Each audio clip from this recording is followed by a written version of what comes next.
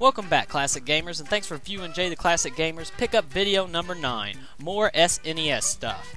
These are the SNES stuff I've picked up in the last 6 months or so. And if you've ever seen my previous pickup videos, then you already know that I don't like to pay more than $5 a game. And out of these 40 games, I only paid more than $5 for one of them. So let's check them out. The first 8 games I picked up at a flea market for $3 or less a game. They are Phalanx, Hey punk, are you tough enough?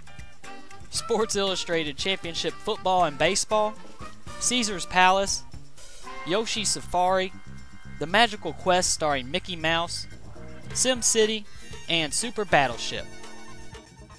The next 11 games I got at a yard sale for $20, which also included the Super Nintendo system, so I got a great deal there. Let's take a look at the two loose carts first. They are Pink Goes to Hollywood and Super Mario Kart.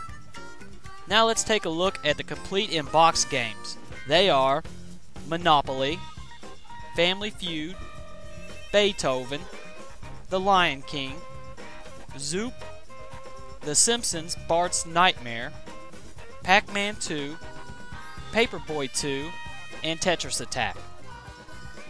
The next 11 games I got was a lot off of eBay. Including shipping, I paid about $1.70 a game.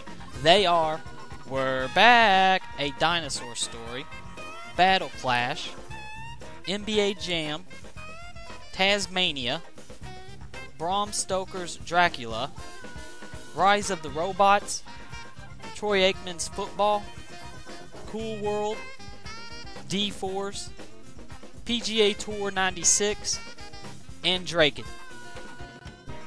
The next eight games I got at a local book and music exchange, and I paid $5 a game. They are Romance of the Three Kingdoms 2, Samurai Shodown, Rampart, Double Dragon 5, Super Ghouls and Ghosts, Gradius 3, Super R-Type, and Captain America and the Avengers. The next game I got was off of eBay, and I think I paid about $8 for it. It is Ultima the False Prophet. And the last game I got was at a thrift store for $1 Super Mario World 2 Yoshi's Island. The next two items are a couple hint books that I picked up at Goodwill's for I think about a dollar. They are Mortal Kombat 1 and Killer Instinct. The last item I picked up for $1 at an auction was an accessory called the Power Plug. This turns a regular controller into a turbo controller and does some other cool stuff. So this concludes Jay the Classic Gamers pickup video number 9, more SNES stuff. I want to thank you again for watching and thanks for the support.